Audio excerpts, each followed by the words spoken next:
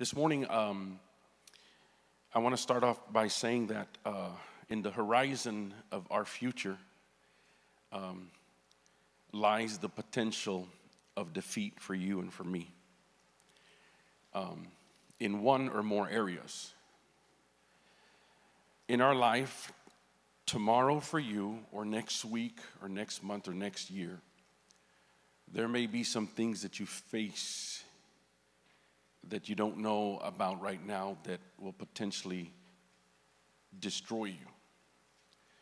There's something, um, there's a struggle that you and I will face. There's something that's going to come to try to stop you, something that's going to try to suppress you, paralyze you, discourage you, something coming to hinder you or even perhaps try to kill you.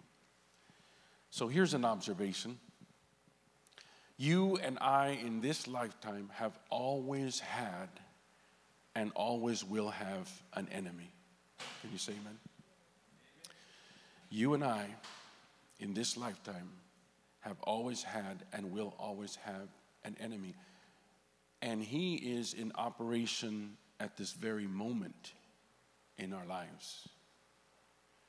For a certain section of us that are here right now, he's already operating right inside your mind. You're already being distracted about what God wants you to hear. You already let something bother you from the car into the building. You're already worried about something that's happening at home or that's going to happen at work, and God does not have your full attention. Listen, if you're going to get defeated in life, make sure that you lose some of your little battles to an, a real enemy, but don't you be fighting yourself. I've come to learn that my biggest enemy is not even the devil, it's Albert Belton. And so, please, let's learn how to, how to, how to fight correctly and recognize our, our enemies. And, and so, in every phase and in every season of our life, we'll always have to contend with something that is out to stop us or destroy us, and something that has the potential to severely handicap us. And so, even in Scripture, we see that in the very beginning, God prepared a beautiful garden called Eden. He commenced creation in that garden, and all that He created, the Bible says, was good and it was a paradise, picture perfect, the cradle of humanity. And yet, in that place, as perfect as any human has ever experienced, there was an enemy. If we take a look at the children of Israel and consider their exodus from slavery into freedom, we will see that a preview of their newfound promised land, which was flowing with milk and honey, it was yet another paradise of sorts. It represented plenty and freedom to them. And yet, even in that promised land that was flowing with milk and honey, that was supposed to be their freedom, we find an enemy. There were giants in the land. And so today I'd like to propose to you that since from the beginning of time up to now, there has always been an enemy, and that enemies are intentional at times and they are part of the schema of things. If God allows them to exist, then they are, ti- they are at times serve some kind of purpose, and their presence indicates their employment. I kind of also want to mention that if you ever have a fight in your hands, that indicates there's value somewhere. If, if, if, if there's nothing to fight for, there's probably not much there. But if you, if you find yourself fighting for your family, fighting for your health, fighting for your ministry, fighting for your spirituality, whatever, whatever you fight for, whatever someone is willing to battle you over, indicates there's tremendous value there. And so, here's another point that we should consider. Since we've always had enemies, and you and I are still here, Look at someone and say, I'm still here. not, not only are you still here, but you're still moving and, and, and, and hopefully you're still breathing. And you're still moving forward in certain areas of your life, and you're still You still came to church today. Can you say amen? Some of you are still a husband today and still a wife, and you're still being a father or a mother. You're still a brother. You're still a sister. You're still somebody's friend or somebody's neighbor or someone's employee. It's obvious that not all of your enemies have had the victory over you. It's obvious that not all of your enemies have been successful. Can you say amen?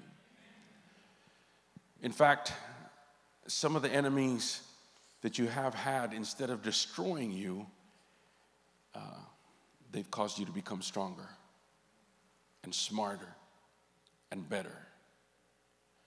So some of your enemies long time ago messed with you enough to drive you into the very seat you are in today. Some of you may, came to, may have come to church today because you're battling something and you, you want more of God. You're trying to uh, get become a spiritual. And some of our battles have shaped us. And for many of us, they are the very reason that we came to know God or drove us into the arms of Jesus. Now, since one or more of our enemies have not been able to destroy us, but actually make us stronger and better, could it be that God, in His sovereignty, would intend that all of our enemies could benefit us in that same manner? Whatever problem you came to church with, whatever kept you up at night, whatever is you're wrestling with, whatever makes you lose your appetite, whatever brings you to your knees and makes you cry, makes you sad, could it be that we could use that thing and employ it to try to make you stronger and better? Because it is an enemy. They say whatever doesn't kill you makes you stronger. So I say we ought to develop a not anymore attitude. A not anymore attitude. I will not let any more giants intimidate me. Not anymore. Can you say not anymore? So I say, don't let them scare you anymore. Don't let them back you up against the wall anymore. Don't let them them intimidate you anymore. Don't let them paralyze you anymore. Don't let them make you angry anymore. Don't let them make you bitter anymore. Don't let them lie to you anymore. Rather, use them to become an even mightier warrior.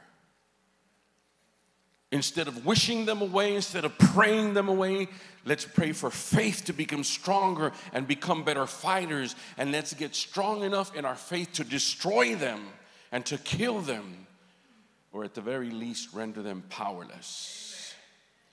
Look at your neighbor and say, You look like a giant slayer to me this morning. First, wake them up and then tell them, You look like a giant slayer to me. Know this God is on your side. Can you say amen? I mean, even though you trip up sometimes, even though you play with the enemy sometimes, even though you sleep with the enemy sometimes, and I'm not talking about your husband or your wife, even though you visit the enemy sometimes, stand with the enemy sometimes, God is still on your side. God is against anything that is against you. So if God sees something coming to destroy you, He's gonna stand up and try to destroy it. Where it gets real uncomfortable is when we ourselves are our own enemy and God has to fight us. We don't like it when He tells us to be quiet. We don't like it when he tells us to behave. We don't like it when he tells us to stop acting that way or to stop thinking that way. But at times we are what is impeding our growth, we are what's paralyzing the next level. And God comes in with His word, He comes in with His presence, He comes in with a situation.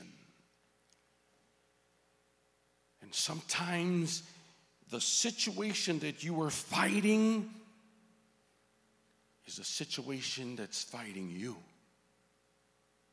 The thing you're trying to get rid of is something God sent to get rid of a part of you. The enemy that is your enemy today may be something that's trying to kill off something on the inside of you, and God is allowing it or him or her to exist. He's against anything that is against you. You and I will have to choose how we're going to live out our lives. Are you going to choose safety and comfort, or are you going to choose progress and growth? Because if you choose progress and growth in any area of your life, there's going to be an enemy. There's going to be a struggle. There's going to be a stretching. In fact, I would venture to say that the person who is struggle free is the person that is purpose free. The greater your purpose, the greater your struggle. Some of us have what we have because we have looked for the easy way out. Can you say amen? amen? How can I achieve what I want struggle free? How can I get what I want and stay safe? How can I get my goal and stay comfortable? We have very little because we have fought for very little. We cowered away and we run from giants and we stay dwarfed. Because it's that fight that's going to make you stronger. It's that fight that's going to build your faith. It's that struggle you're in today that's shaping you and forming you. It's the size of the giant that is bigger than you that is trying to get you to look at the God that is bigger than the giant. Here's the problem with the believer staying struggle free. If you remain struggle free, you will never tap into the mighty resources that come to the believer. God would rather you have the kind of life that puts you in a position to make demands on the Holy Spirit. I'm going to repeat that and then I'm going to delineate that. God would rather you have the kind of life that puts you in a position to make demands on the Holy Spirit. That's right, I said the word demands on purpose. Well, Pastor Albert, we can't make demands on the Holy Spirit. And that's part of our problem. We ought to start making demands. This is the definition of demands. And notice I didn't say commands. You do not command the Holy Spirit. You are not God's boss. He does not work for you. He's not a genie. You never command God or the Holy Spirit, but you can make demands. Because a demand is to ask for with proper authority. The word demand means to claim as a right, to ask for urgently. The word demand means to call for or require as just, proper, or necessary. The word demands may, means to lay formal or legal claim to, to summons as to in a court or to inquire and ask. You have a right to ask God to bring and to release from heaven all that He has purchased for you at Calvary. Not a command, but a demand. Big difference. One is telling, the other one is claiming. You will always know how great your purpose is by the number of giants you face. For every paradise that God wants you to maintain, for every promised land He wants to deliver you into, there are squatters and trespassers that must be contended with. And in Exodus chapter 3, verse 7 and 8, the Lord said, I have indeed seen the misery of my people in Egypt. I have heard them crying out because of their slave drivers and I am concerned about their suffering. So I have come down to rescue them from the hand of the Egyptians and to bring them up out of the land into a good and spacious land, a land flowing with milk and honey, the home of the Canaanites, the Hittites, the Amorites, the Perizzites, the Hivites, and the Jebusites. Notice he says, I have come down to rescue them. Did God physically, materially manifest and come down. No, he, he came through Moses. Pay close attention to the people that are in your lives. Because at times it is God coming down to deliver you. At times it is God coming down to rescue you. If you don't pay attention to anyone, if you're too proud, if you're too stubborn, if you don't humble yourself, if you don't appreciate people, if you don't allow God to move, you will miss your deliverance because you think you're all that and a bag of chips. God, show me. God, come down. I did. I delivered a message last Sunday while you were on your phone playing a game. God help me financially. I did. I allowed you to put something in the offering basket that would catapult you into recognizing obedience and bring you into blessing. You missed it. God, help me with my relationships. My family is falling apart. Help me do something. I did. Last Sunday, I let you sit right in front of what you call your enemy, and you missed it. Quit thinking that God is like you and He's limited to certain, jurisdictions. Some of you are having so many problems in your own family, and there's bickering and there's fighting because you have developed a mechanism which is to gossip, to talk about people, to put everybody else down, and you collectively as a family talk about everybody else. And I've always seen it work without fail. Sooner or later, what happens here in your family against everybody else starts to happen here against each other. Can you say ouch? So when you're praying for God to help you at your house, check out the way you behave at work. When you're begging God for Him to, to restore your family, check out the way you behave at church. Because God connects all the dots, and we don't. We think our, our, home, our problems at home are things that only happen at home. We're not asking for anything else. But did you know that the problems you're having in your business could be directly related to some issues that you're having at home? Did you know that the problems you're having between your husband and your wife can affect you when you're out in the business world and dealing with clients and customers? Did you know the way you treat your children can affect you the way you run your business? Or it's all interconnected because it all comes sourced from the same thing and it's called your heart. You got to check your heart. I've come to learn that most Christians really don't want a Lord, they want a genie. Fix this for me, God. Make this work for me, God.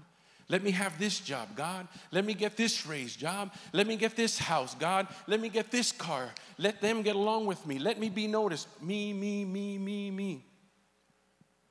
That's a giant. That's an enemy. And you have to render me powerless. Because the Bible says that when you decrease, he will increase. He says, if he is lifted up, he will draw all men to himself. Problem is, we like to be lifted up, even in the church. Oh, did you hear that preaching? Oh, did you hear the way that song was sung? Or did you hear what this brother did or what that brother did? We like to lift ourselves up. Listen, if you be lifted up, very few people are going to draw themselves to him unless he is lifted up and you lift him up. I'm trying to get us to start to realize that our biggest problem is our own ego, our own pride, because I've seen it after 29 years destroy relationships, destroy purposes, destroy destinies. What we want, what I think should happen. It has to be this way. And so we talk about these giants that are in the land, and there are things that God has given us in heaven that are not yet released to us on earth because we have not made a legal claim. No legal claim has been made. And we as Christians live in a natural world, but our affairs are supremely handled by a supernatural court that exists in another realm. And so we have to make claims to have things released, to be loosed, to be bound. One day I remember complaining to God and saying, Oh Lord, the devil this and the devil, he's trying to get me. And, and, and I, I, I felt God say, You tell him. Why are you telling me? You tell him. I'm like, I, I don't, I, I can't talk to the devil. He talks to you. You know, I, I, you know how I know he talks to you? Because when you talk, you sound like him. You don't sound like God, you sound like the devil. So I know he's talking to you. And you may not think that you talk like him, but you certainly can very comfortably repeat what he says. And I was complaining. God said, You tell him. Devil, I rebuke you in Jesus' name. I've had to tell him, This is my house. Get out. You have to lay claims, legal claims. There's a lot of legalities in the Word of God. Uh, Andy's a lawyer. It's amazing how legal the scriptures are. And, and, and, God has given you certain rights, and He's adopted you, and, and, and He's bought certain things for you, and there's certain things that belong to you, but you have to show up and make legal claims. Otherwise, you'll have squatters, trespassers, people lying to you, and they'll take the things that legally belong to you in the spiritual realm. You got to show up and you got to say, in the name of Jesus. See, that's the qualifier.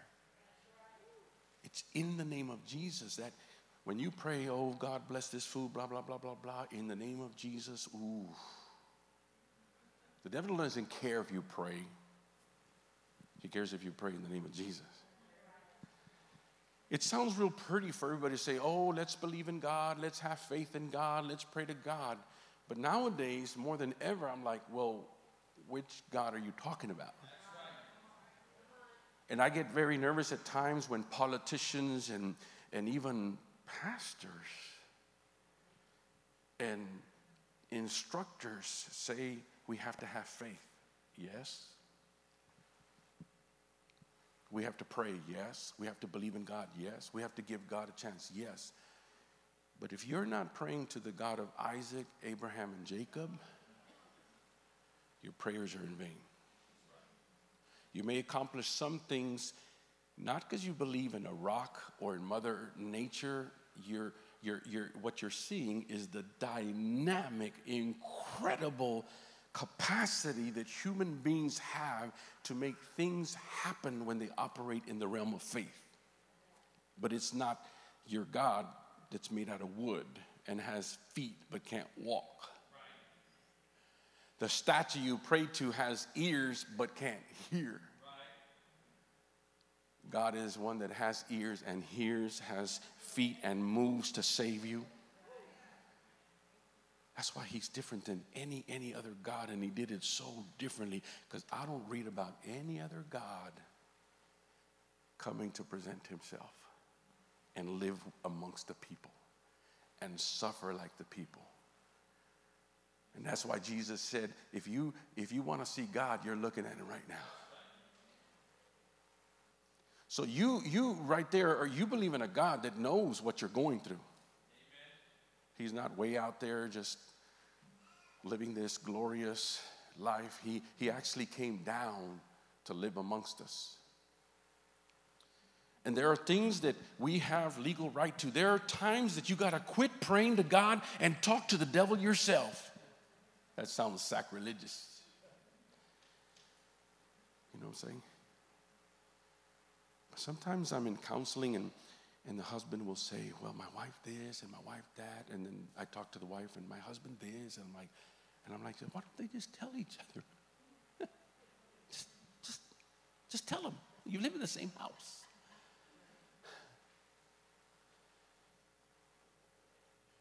Your inability to approach God says something about your belief in Him.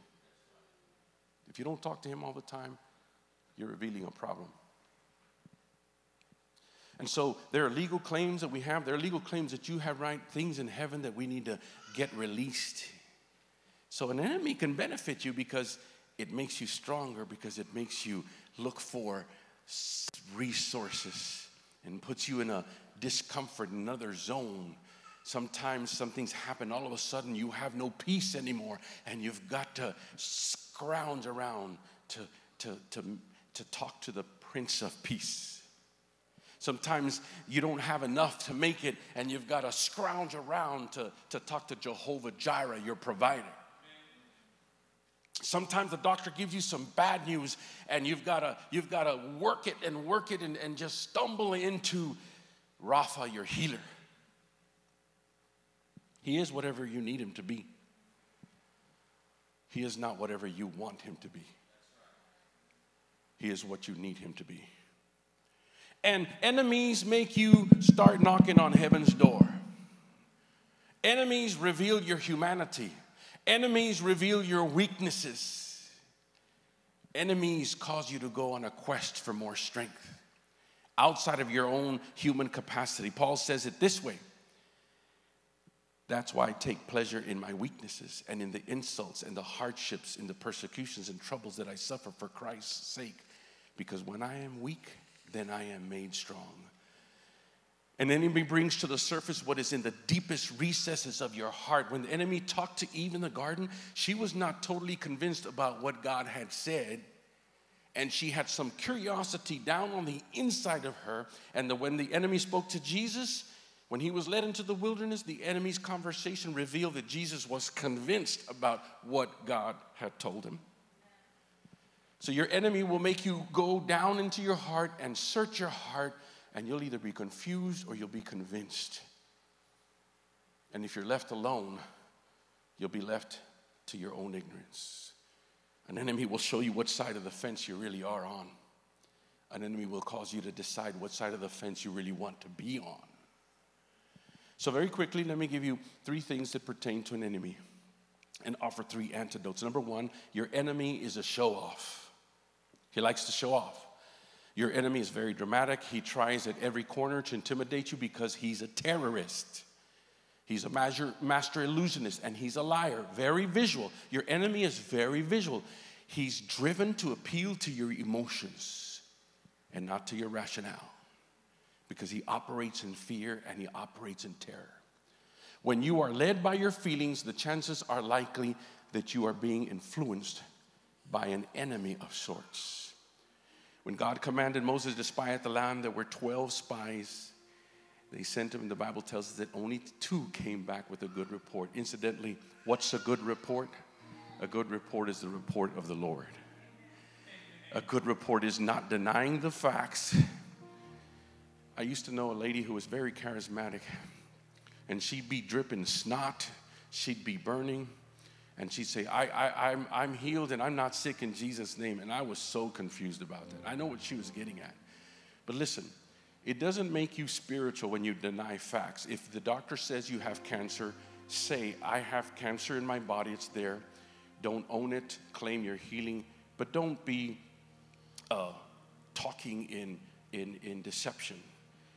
I know we have, believe a bigger truth and the truth rather than facts, but it's okay to say this is bothering me. It's okay to say this is hurting me. It's okay to say I'm scared. You don't need courage unless you're scared. Paul said, It's okay to be weak because when I'm weak, then I get strong. So you see, you don't deny facts. You don't, you don't deny what you see, what you feel, but you override what you see and what you feel, and you agree with God and what He says about that situation. The qualifier for Joshua and Caleb, the two spies that got to, the, to enter the promised land, as opposed to the 10 who were banned from entering, the qualifier was not what they did because all 12 went to go do the same thing spy. The qualifier was not what they saw because all 12 of them saw the same thing. they saw giants. But the qualifier and the thing that separated the 10 spies from the two spies was what they said. What they said set them apart. Then Caleb silenced the people before Moses and said, We should go up and take possession of the land, for we can certainly do it. But the men had gone up with him and they said, We can't attack those people. They are stronger than we are. And they spread among the Israelites, they, they spread among the Israelites a bad report about the land that they had explored. They said, The land we explored devours those living in it. All the people we saw there are great size, they're giants. Jacob, uh, Joshua, and Caleb said, We can do it.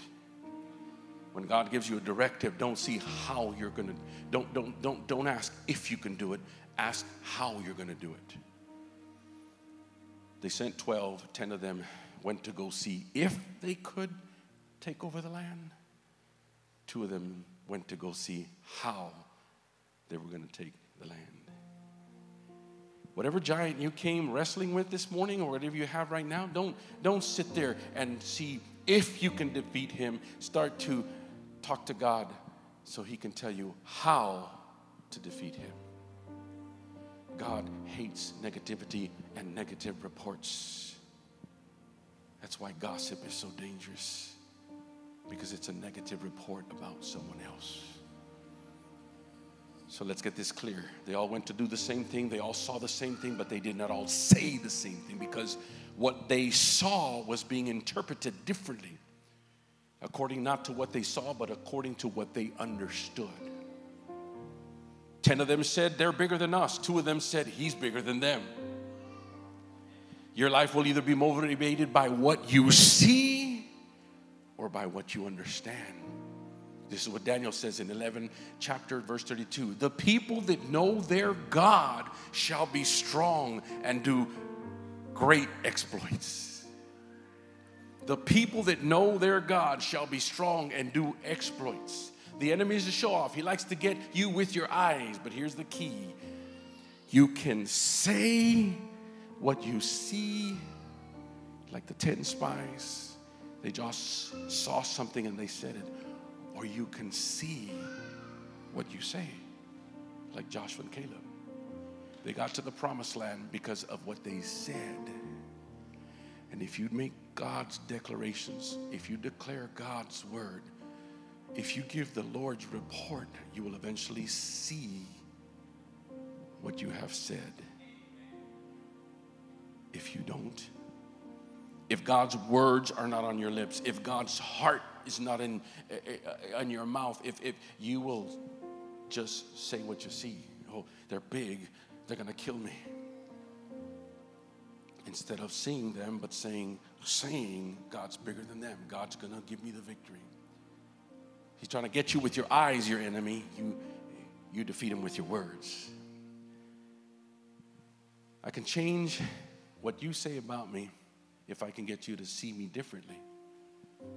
People just say what they see. God wants us to be the kind of people that start to say what He says so we can see what He sees. The enemy wants you to get to see, the enemy wants to get you to see people's faults. But you can choose on purpose to stay on course when you say what God has told you if you're listening. Quit saying what you see and start to begin to see what you say. Something will happen when you bring a good report. Something will happen in your life when you bring a godly report. It's not a person of faith that just is great because he repeats what he sees. It's bad, and you say it's bad. It's bad, and you feel bad. There's no, there's no valor in that. It's a, it's a, a man of faith and a woman of faith that, in spite of what they see, in spite of what they, what they, what they feel, they say what God says, and bring in a good report is an awesome thing. Why do you think God? Why do you think God tells us to pray for our enemies? So we pray for our enemies. He'll talk to. I was talking to somebody about the other day, and we were talking about somebody that just couldn't get something right, and it looked like that person. Oh my God, we. oh, should we give up on that person? And I just said this, it just slipped. I said, all I know is that when I get on my knees and I pray for so and so, I never get up from my knees having heard God say, oh, what a loser. When I pray for somebody, I never hear God saying, you're wasting your time. They're never going to get it right. When I pray for someone, God always encourages me to walk in His love, to walk in His forgiveness. That's why He says, pray for your enemies. Because when you get on your knees and you talk to me about what you don't like, I will talk to you about what I like. And that's more important. Can you say amen? Enemies like to show off. And number two, enemies like to subtly get you to settle. It's not the strongest or the biggest giants that you should be the most cautious against, but it's the friendliest giants. In other words, it wasn't a bear or a lion or even a mighty army or a giant that brought destruction to David's life. It was a beautiful Bathsheba, a very nice, beautiful, sensuous woman that brought him down with tremendous consequences. It was the enemy of lust. In other words, don't worry about that Satan worshiper or don't worry about that witch that works with you and runs their mouth. Don't worry about them more than that six pack that you got shoved way back in the bottom of your refrigerator shelf. Don't worry about that meth lab that's down the street from your house. It ain't as big of a problem as that joint you smoke every once in a while. Your biggest and most dangerous giants are your friendliest giants. Whenever an enemy is the friendliest, he is the most dangerous. Whenever a behavior, a practice, or a habit promises to deliver pleasure, promises to tease you with fun, be careful how you combat that. Practice discipline, disciplines of giving, disciplines of forgiving, disciplines of fasting, disciplines of serving, disciplines in the Lord. I'm going to say this to you. I heard God say to me the other day, You are who you surrender to. You are what you surrender to. When you're a child, you don't know anything. You were raised by your parents. You surrender to their teachings, their upbringing, and you become a product of your upbringing. You go to school, you join gangs, your friends. You are a product of who you surrender to, what you surrender to. If you come to church, if you surrender to God, you will become a man of God, a woman of God. Look at your life right now, and I can tell you what you've been surrendering to. You surrender to your feelings, to your emotions, to your carnality. You're going to have chaos. You're going to be always fighting. You're always going to be bothered about something. But if you surrender yourself to God, the Prince of Peace, you'll walk in peace.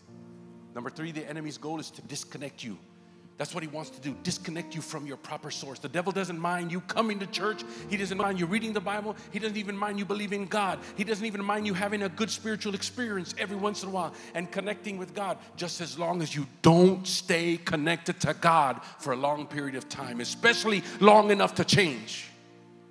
He will interrupt your journey to keep you from connecting for lengthy periods. And how?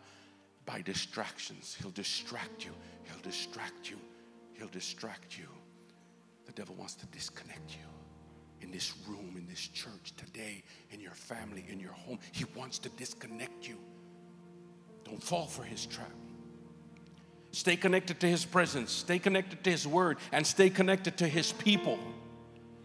Finally, I'd like to end with this strength comes from righteousness, from doing what's right. Do the right thing and you will be stronger. You don't have to be strong, you just have to do the right thing. And your strength will come from the righteousness, it comes from doing right. Don't be all confused about what I need to do, where do I need to work, what I need to say. No, just do the right thing. Whatever presents itself, one right at a time. If you're lost today, take a right for the rest of your life. when we do what's right, God moves on our behalf. If you want God to move on your behalf, if you want Him to move on your behalf of your finances, do what's right with your money. Behalf on your health, do what's right for your body. Bless your relationships. Do what's right with everybody. Our lack of desire to do the right thing is many times trumped by the desire to do the wrong thing for the pleasure that we derive. In other words, I don't want to do what's right because I can get a little pleasure if I just do my thing. Obedience brings blessings and develops strength. Disobedience brings momentary pleasure, but we have to be honest with ourselves about what it is that you really want. If my people who are called by my name will humble themselves and pray and seek my face and turn from their wicked ways, then I will hear from heaven and I will forgive their sin and I will heal their land. Let's good. Let's get good at dealing with our enemies since we are always going to have one. Let's get strong and let's become mighty warriors. I'd like to close with this song. If you would stand to your feet, if you would worship along with this video, I'm practicing. Pastor Albert is long winded, he's practicing to be short winded. Okay, so keep praying.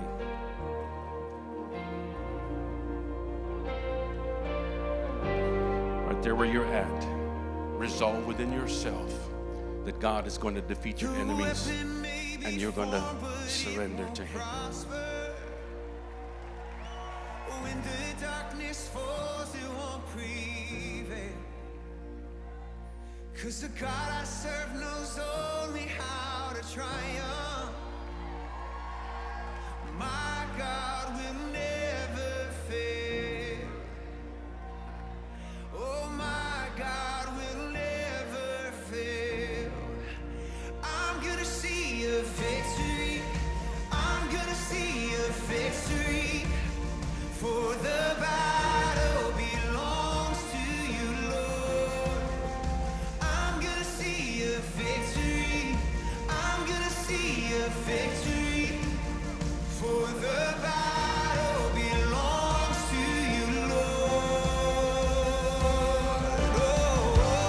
Right now, where you're standing, begin to say something differently. Don't go by what you're seeing, but begin to declare out of your mouth God's word and what He intends for you.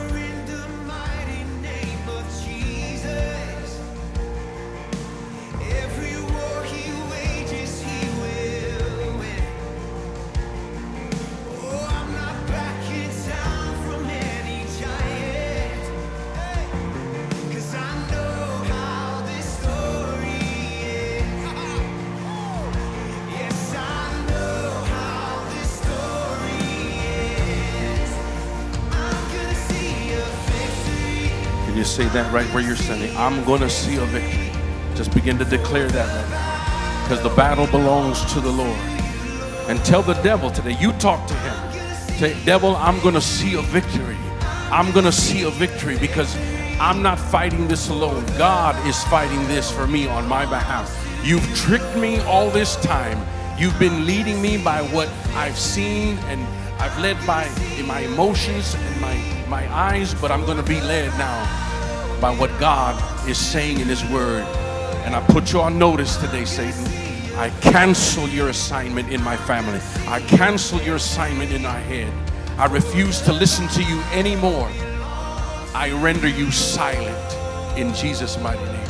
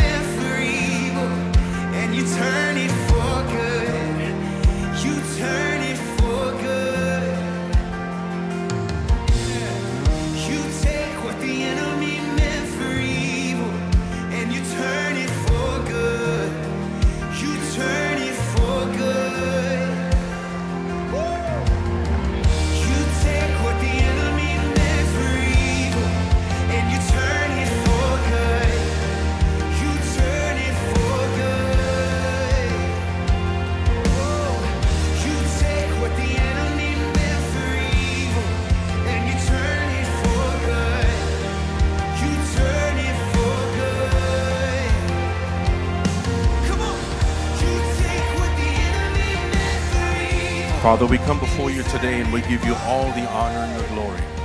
We pray, Lord, that this word, Father, will just permeate our very soul and our minds and our hearts, Lord. And that, Father, we will begin to become mighty warriors in Jesus' name. If we came in defeated, we came in tired and struggling, Father, give us, you be the lifter of our head and give us, energize us, Father, to bring a, a victory, to see it. The victory has already been won 2,000 years ago. Help us to re- realize it and to see it today, Father, in Jesus' name. Anybody that here that's tired of fighting, Lord, let them know that as long as they're fighting, it indicates that they have not settled that they will continue to fight. You will give them enough strength and encouragement to continue to fight till they experience the victory. They not tire of fighting because the fighting indicates that there's something that is not quite right. They have not settled for something. There's still another side, an opposing force. So make us fighters, good fighters. And we ask you these things in Jesus' name. As we leave this place, Lord, there are some of us that are going to be fighting for peace, fighting for our health, fighting for our families, fighting for our country, fighting for many things, Lord. Teach us how to fight. Teach us how to surrender more than anything so that you can fight through us and fight for us in the mighty name of Jesus. We dismiss ourselves from this place, but not from your presence, and we give you the honor and the glory, and we pray these things in the mighty name of Jesus. Amen and amen. Could you give the Lord a, a clap offering today? Amen.